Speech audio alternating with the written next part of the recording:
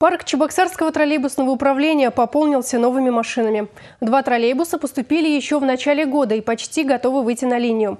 Еще два приняли на днях. Ольга Григорьева и Андрей Спиридонов узнали, на каких маршрутах будут работать новые троллейбусы.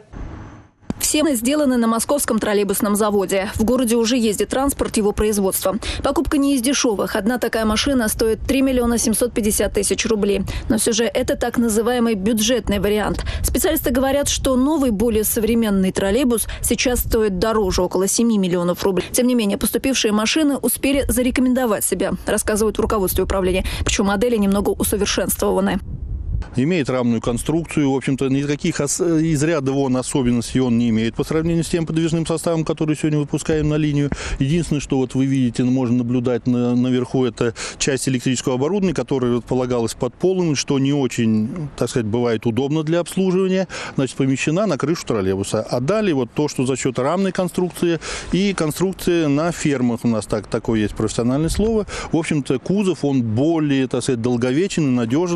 Приобретению троллейбусники рады. Все пять машин город получил в рамках федеральной программы обновления подвижного состава на условиях софинансирования. 80% расходов взял на себя федеральный бюджет, 20% – городской. Словом, троллейбусному управлению не пришлось тратиться. Хотя в истории предприятия бывало, что обновлять машины приходилось за собственный счет. Между тем, парк троллейбусов давно просит не просто ремонта, а замены.